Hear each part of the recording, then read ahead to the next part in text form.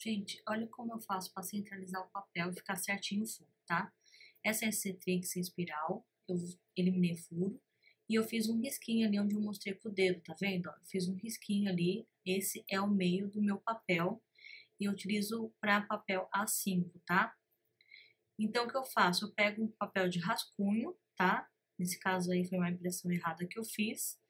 E o que eu faço? Eu dobro o papel no meio, tá? E fazendo isso, fica mais fácil para alinhar o furo, tá, gente? Tem muita gente que eu vejo em grupos que, que fica com dúvida sobre isso. Aí, no meio, o que eu faço? Eu pego e marco, faço uma marcaçãozinha ali. E eu vou alinhar com aquele risquinho que eu fiz ali na minha encadernadora, tá? Feito isso, eu alinho ali, né, com essa reguinha que tem aí na, nessa encadenadora espiral. E aí eu furo para ver se ficou alinhado. Aí como eu vou saber se está alinhado os furos? Eu vou dobrar o papel no meio e o furo tem que casar. Os furos tem que casar, tá? Olha lá. O de baixo com o de cima, tá? É assim que eu sei que está alinhado o meu papel, tá? Olha lá. Alinhadinho, certo? Então é assim que eu faço a furação na minha encadernadora espiral, tá? Então agora já tenho a certeza disso e vou furar. Então eu vou furando de 10 em 10, tá? E eu dou uma batidinha para ficar alinhadinho, tá, gente? Vai ficar certinho aí as folhas, tá? A batida é as folhas que vão ficar para fora. Se tiver alguma irregularidade, vai ficar pro lado de dentro do espiral, tá, gente? E agora, como eu faço com a capa? Para furar a capa? Eu pego um papel do tamanho da capa que eu vou furar, aí eu faço um gabarito, tá? Esse papel é de uma gramatura mais alta para eu usar várias vezes. Então, vocês podem ver que tem dois tipos de furo aí, né? Então, ó, vou mostrar para vocês. Tem o tamanho da capa. E aí eu centralizo ajusto ali do lado e furo. Como que eu sei que está certo? O furo vai passar reto ali na folha, porque já está furado, entendeu? Então ele vai passar certinho no furo que já tem aí, tá? Então fez isso, eu sinto isso, né, na hora que eu vou furar. E agora eu consigo furar a capa, tá? Então a, a capa de, de é, a capa, primeira capa desse jeito e a contracapa é com a guarda para cima, tá? Então, eu vou furar com a guarda para cima para colocar o espiral, tá bom? Então, é assim que eu furo as minhas capas e alinho as minhas capas e alinho o meu miolo, tá?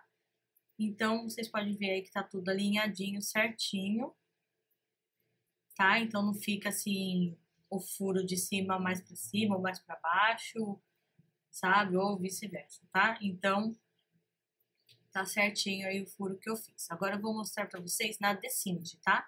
Na decinte pode ser tanto de furo quadrado como de furo redondo que vocês tiverem aí, tá? A decinte é até mais fácil porque ela já tem a setinha ali, ó, centro, tá? Tá escrito em inglês, tá? Então, isso é o centro da decinte. E tem a régua aí para você alinhar e regular de acordo com o tamanho do seu papel. E faço a mesma coisa, eu pego um papel, faço, dobro ele no meio, faço um risquinho e alinho com o centro ali, tá? Pego uma folha de rascunho, né, para eu não acabar furando errado aí uh, o meu miolo, tá? Então, é dessa maneira aí que eu vou centralizar a Decide, ela, ela pode fazer o quê? Eliminar furos, né? Então, eu escolhi cinco furos para cada lado. E é assim que eu vou eliminar os furos. Então, aí com a ajuda da régua centralizo, né? Como eu disse para vocês. E aí eu vou fazer a marcação aí do, do papel, tá? Aí eu vejo se tá centralizado, se tá batendo furo com furo, tá bom? E aí, se eu tiver alguma dúvida, se não tá batendo, de repente na hora de dobrar fica um pouco torto, aí eu furo de novo, tá? Então, eu vou fazer aí, eu vou mostrar para vocês que eu não fiquei segura no furo alinhando com o papel. Então, eu tô ali ajustando com a régua porque eu tô achando que é, não ficou bom o furo, tá? Então, eu vou fazer o quê? Eu vou refilar esse papel para furar de novo, tá? Então, para eu ter certeza mesmo aí do que eu quero, tá, gente? Fica a dica para vocês. Pode ser feito esse tipo de, de dica para qualquer tipo de, de tamanho que vocês forem furar, tá? Eu tô, eu tô fazendo uma encadenação no tamanho A5, mas se for num A6 ou um quadrado, tá? É o mesmo, é o mesmo uh, esquema, tá? Vocês dobram a folha, né? Eu faço um risquinho para ficar mais fácil de, de ver onde vai ser centralizado, mas necessário. Se vocês só dobrando a folha já saber onde está o vinco, aí vai ficar a critério de vocês. Então é para qualquer tipo de papel, tá? Furei, agora tá certo. E eu vou furar o meu miolo, tá? Então, eu sempre pego os rascunhos para me dar, é, como se diz, uma certa segurança.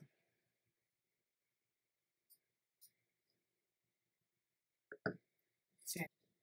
Bom, depois que eu furei todo o miolo, eu vou furar a capa. Lembrando que a capa, ela é um pouquinho maior do que o miolo, tá?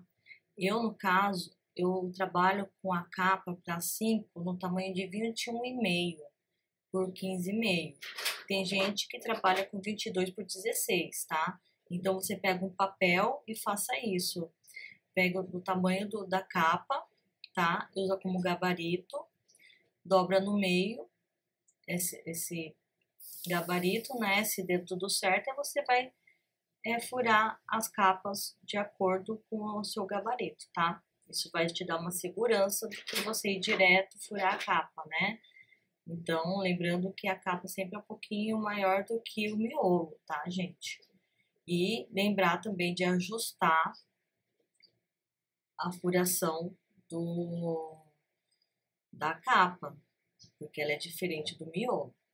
Agora eu vou mostrar centralizando na encadenadora de Wire, tá? Eu uso a Excentrix tá bom? Com eliminação de furo também, né?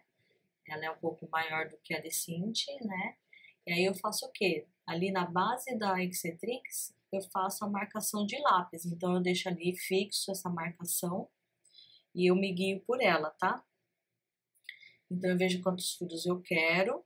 Aí, eu também peguei aí uma folhinha de rascunho no tamanho do, do miolo, né? Aí eu vejo se centralizou, furo por furo. E aí eu vou furar o meu miolo, tá?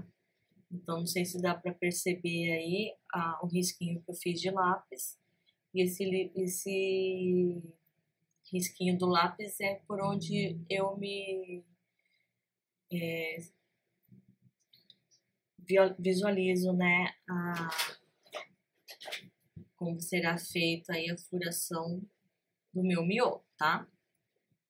Agora eu vou mostrar aí furando, eu pego também a mesma, mesma coisa com as outras.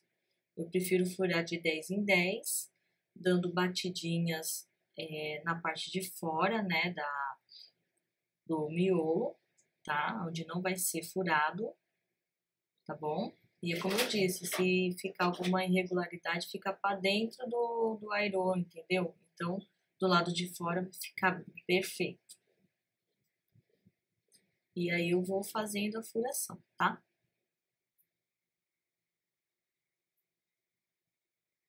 De 10 em 10 e furando.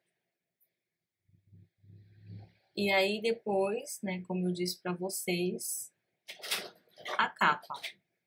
A capa e seu gabarito da capa, no mesmo tamanho, né, das capinhas, tá? Eu tô assim só para vocês verem que é a mesma medida.